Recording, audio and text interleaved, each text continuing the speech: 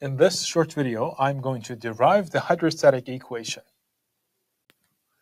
All right, let's consider a fluid element. A fluid element is essentially a chunk of the fluid, and this is the free surface of that fluid.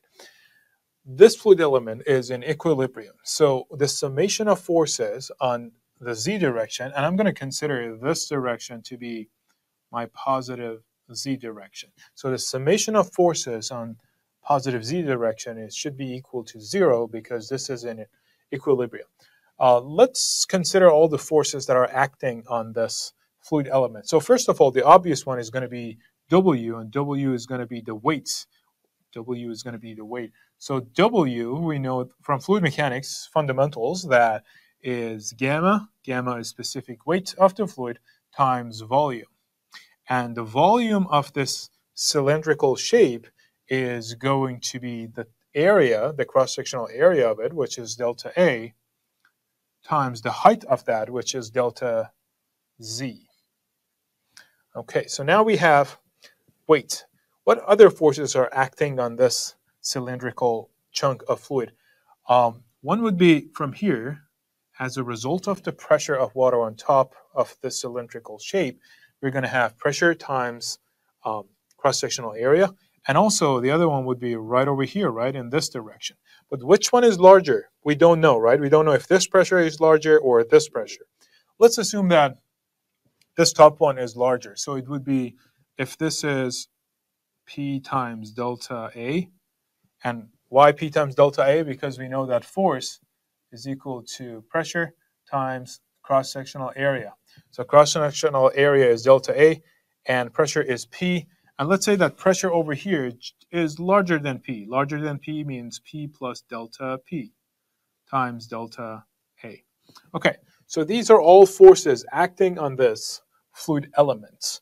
Now let's write the equilibrium. Again, in this direction, Z is positive, and we know that the summation of forces in Z direction is going to be equal to zero.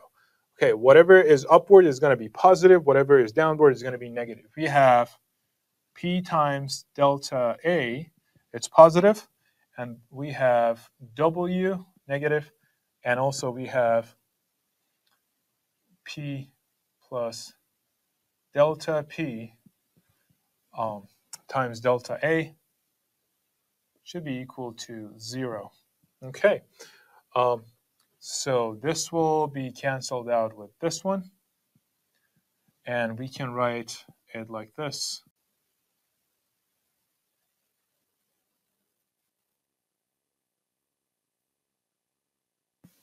Okay, so W, we have it here, is gamma times uh, volume, and volume is here. So it would be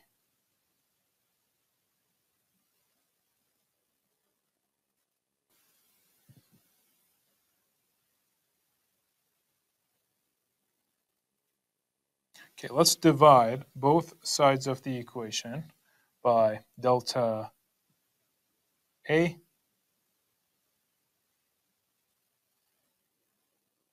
and obviously these are going to cancel each other out and this is going to be 0. So what we'll have over here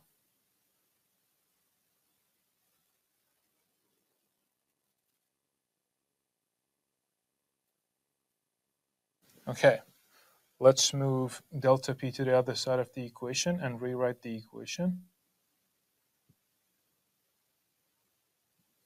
All right, so this is our hydrostatic equation. Let's take a look at it and see what we can understand from this. This equation is telling me that the changes of pressure is related to the changes of elevation of the fluid. So as the elevation changes, the changes of elevation are correlated with the changes of pressure. Also, this equation is telling me that when I go up in a fluid, pressure decreases. Why do I say that? So when I go up in a fluid, delta Z is positive, right? Remember, the positive direction is up. When I go up, delta Z is positive. So there's a negative sign over here. Pressure decreases as I go up in a fluid. As I go downward in a fluid, delta Z is negative. Negative and negative would be positive. So delta P is positive, meaning that pressure increases. In other words, as you go deeper and deeper in a fluid, the pressure is increasing and increasing and increasing, right? It totally makes sense, right? Imagine that you are uh, swimming. As you go deeper and deeper in the swimming pool, you can feel that pressure is getting higher and higher on you, okay? So as you go down in a fluid, uh, uh pressure increases, and as you go up, pressure decreases.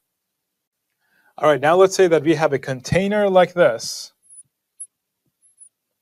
This is the free surface of the fluid, and this is a point over here. Let's call it, okay, let's call this point on, on the surface of the fluid, point 1, and this point, point 2. And the distance between these two points, let's call that h.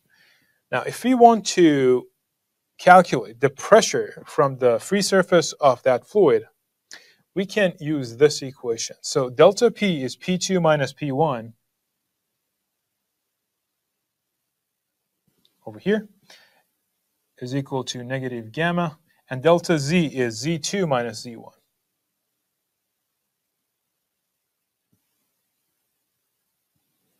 Okay, so what is the pressure at point one? This is the free surface of the fluid, so pressure is going to be atmospheric, so relative pressure is equal to zero. So on this side, I only have P2. How about here? Z2, depending on where you put the datum, is going to be negative H. Negative H. Why? Because my datum is right over here. So this is Z is equal to zero. So if this is Z equal to zero, H below Z would be negative H. What's the elevation at point one? It's equal to zero. Okay, so if I want to write that, pressure at point two is going to be this negative and this negative would be positive, would be gamma times h. This is another form of, let me actually get rid of this. This is another form of writing the hydrostatic equation. So if you are measuring pressure at a specific point and you are measuring it from the free surface of the water, free surface of the fluid, you can write P is equal to gamma H, and H is the depth of that specific point. All right, now let's understand this a little bit better. Let's say that you have a water bottle and that water bottle is empty, so there is no water inside that. You're going to put the cap on and you're going to go swimming and you're going to take that water bottle with you. As we are going down in the water, we are expecting that pressure is going to be increased, right? So if you go down, the pressure is going to increase. So if the water bottle is empty and we are going down in the water, we expect the water bottle to come together, right? Because the pressure outside of it is going to be larger than the pressure inside of the water bottle. I'm going to show you, I'm going to end this video with another video that shows you this experiment. And it shows you how, as you go deeper in water, the pressure is getting increased and how it impacts the water bottle. Let's watch that video together.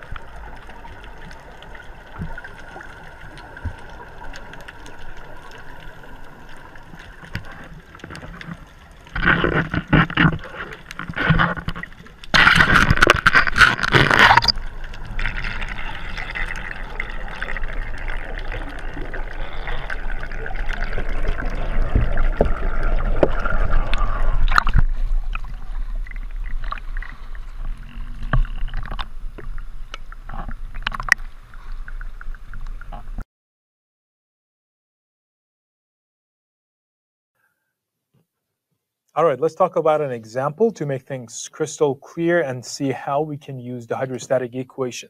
So in this example, we have a tank, and this tank has a drain pipe and a drain plug.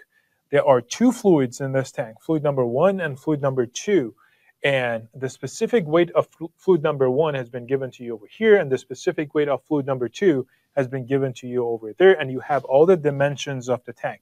What we are going to find is essentially the pressure on this drain plug at point C. So what we are going to find essentially is pressure or P sub C. We are going to find this value.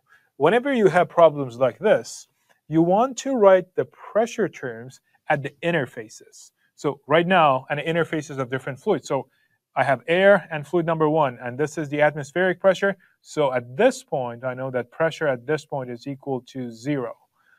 Uh, this is the free surface of the fluid, right? Another interface is going to be right over here, right? And then the final point would be right there. Okay, so I'm going to start from the top where the pressure is zero. I know that at that interface, at essentially over here, A, pressure is going to be equal to zero. Okay, plus. And then I'm going, I'm moving downwards, so pressure is going to increase, right? That's why I have the plus sign over here.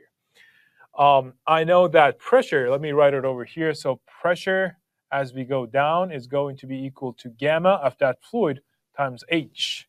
So I'm moving from this point, this interface, to this interface.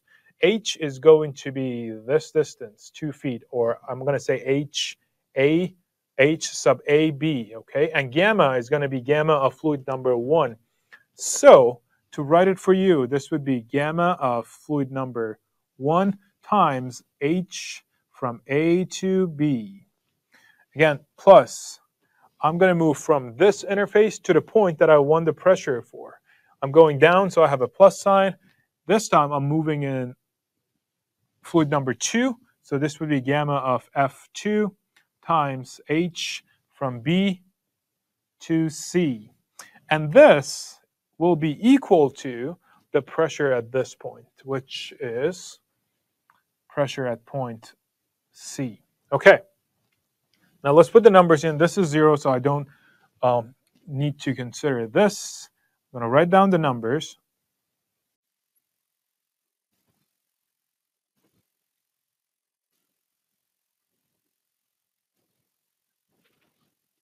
And eventually, if you calculate P sub C with this, it would be 326.7 pound force per cubic feet. And that would be your answer, the pressure at point C. Okay, so what we learned from this example, this problem, is that whenever you have a problem statement that gives you multiple fluids, as you're moving down in a fluid, you need to use the gamma and the H that is appropriate for that specific part from interface to interface.